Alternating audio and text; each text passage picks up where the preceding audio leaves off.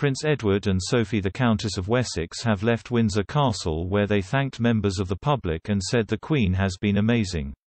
Sophie spoke to reporters from a Land Rover driven by her husband, the Earl of Wessex after spending around an hour at the castle this morning.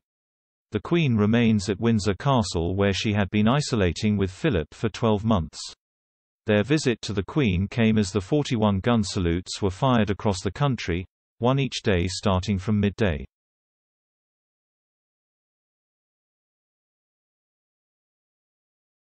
Salutes will also be fired in Gibraltar and from Royal Navy warships, the Ministry of Defense said.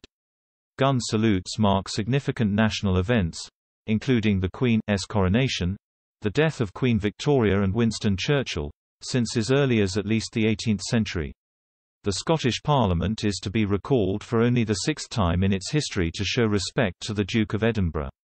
It is understood plans for the Duke's funeral will be officially signed off by the Queen today.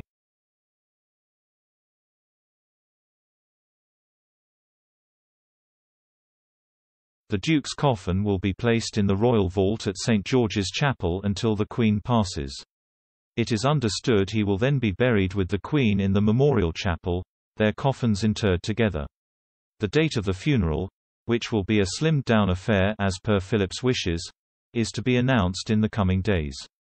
Before the Duke of Edinburgh is laid to rest he will be examined by a member of the medical household, who will determine the cause of his death.